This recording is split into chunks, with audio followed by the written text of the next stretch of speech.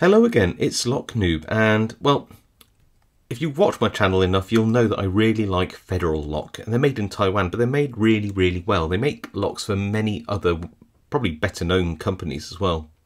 I saw this one on eBay, uh, a refurbished one, uh, and it's a 406HE. Really cute little uh, padlock with a interchangeable Euro cylinder um, core. So basically, you can open this up, undo the grub screw, and then you can pull out the Euro cylinder and uh, and change it for whatever you like. The one that came in this particular lock was a an Adapta. Actually, yes, A D A P T A Adapta J40.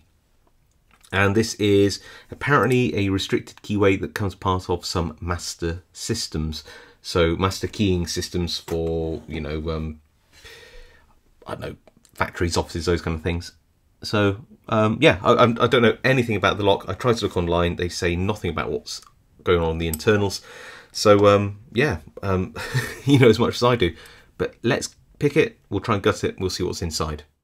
So we are in the vice, and um, despite it being a, a restricted keyway, it seems to be enough room for me to get a 25,000th pick. Uh, my monkey paw up through the keyway, so I'm going to give it a go like that.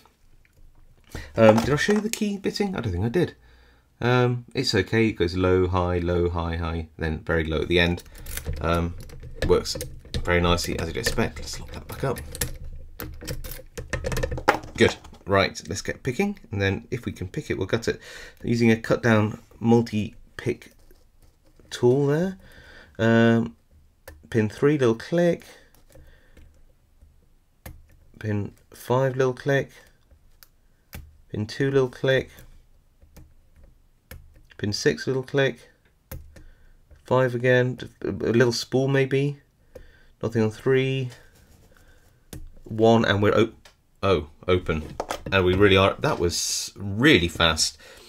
Um I, I swear number five was a spool was it a, I, I mean I don't know it's really hard to tell isn't it um, I think so, and if it was, it's quite shallow. So, um, all right. Well, let's let's gut it and find out. I'm actually very curious now. So, with these locks, only when it's open does the cam at the back move out of the way enough for the lock to come out like that. Haha.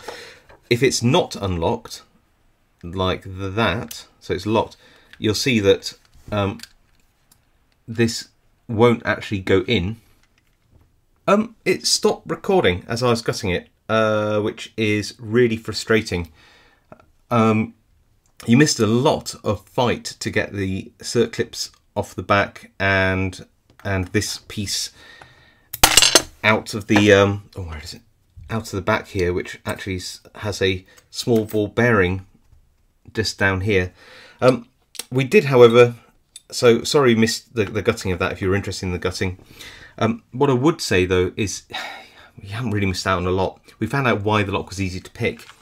Turns out that I had picked it, let's call it properly, um, in that this lock does have master wafers in all of the key chambers, which isn't too surprising considering the company who makes these locks or supplies these locks do a lot of master um, uh, suiting or master keying for commercial buildings.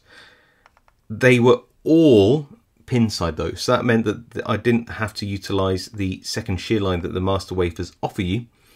Um, but the reason why it was so easy to pick was that all of the pins apart from one are spools. I was wrong, pin 5 wasn't a spool, pin 1 was, and it is a nice spool, don't get me wrong. It's a good spool, it's fine. Um, it's a very nicely shaped pin, but seemingly not very effective. There aren't any anti-bump features, although the springs are very long steel springs. Um, there aren't any anti-bump features in here. It's mostly standard pins. It's wafer. Um, it's got mass wafers in there. This is clearly not intended to be a high security application, just for uh, well uh, master keying. There was one interesting feature in this lock though, which was these little holes here. which are dimples for what I can only assume is lost lost ball bearing um, construction keying, so that uh, you would have your builders and they'd have one key, and then you'd have uh, a, a, homeowner's key, for example, or a realtor's key. Put the key in. One of those places would be high enough to push a ball bearing out of the top, which would then settle into one of these holes either side. Uh, and then when the constructor put their key in, of course, uh, the key wouldn't lift the key pin to the same height because of the lost distance that the ball bearing gave, and the driver pin would stay in one of the key chambers. So, uh, yeah, I mean that's interesting. So it's clearly this company they do a lot of construction keying. They also do a lot of master um, wafering, uh, and it must be for low security applications, as I said, because you've got no um, security pins in the key pins, no security pins apart from one on the um, uh, on the driver pin side and no anti-bump or anti-snap features I could see, although to be fair, this was in a padlock, so you know, you probably don't need that.